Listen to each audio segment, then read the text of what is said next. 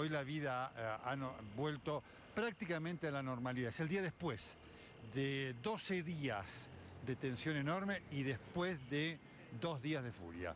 Sábado y domingo fueron dos días de furia con una violencia extrema y creciente. La derogación del decreto 883 significó la posibilidad de reinstalar la paz y comenzar una negociación para ver cómo de alguna manera el gobierno reencausa este tema eh, y cumple con el ajuste del Fondo Monetario Internacional, cosa que por supuesto mantiene